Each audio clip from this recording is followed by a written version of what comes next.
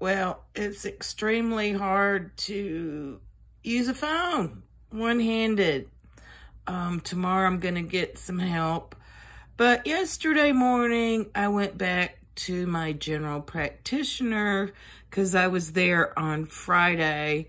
Um, they thought I might have a, a abscess on my wrist and they put me on antibiotics and some pain pills for the weekend. So I go back yesterday and they decided they would x-ray it and the doctor comes in and she says, oh, hun, you got to go see your surgeon.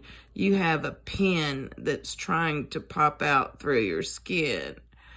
So I started on that ordeal of finding the surgeon because I lost the paperwork. But anyway, uh, I did locate the surgeon and talked to his assistant and told, I can't even write it that way, told him what was going on.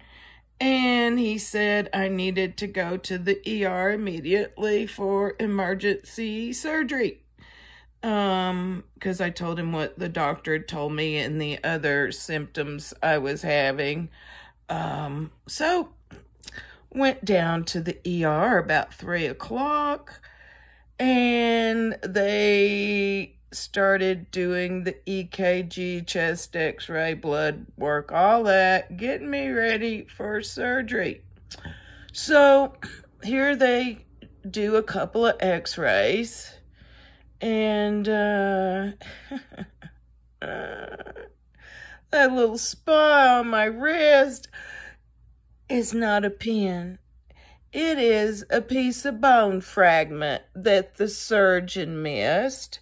And he also missed the other break completely. Um, I'll have some help tomorrow, but I can't even roll my wrist. Is about it. So, uh, yeah, I'm kind of lucky and kind of not. I'm having to go back to the same surgeon. I'm waiting for a call back to set up that appointment. And uh, I'm going to my GP tomorrow to get an MRI because um, the way they had me casted, it was doing some nerve damage. So I'm not happy about that.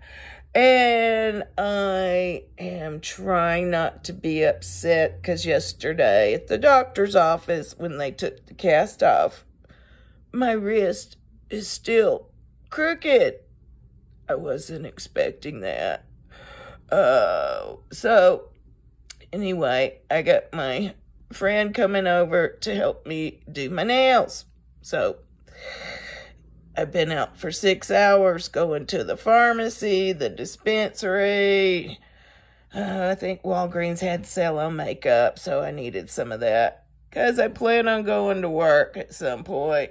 Not for a while, though. Later.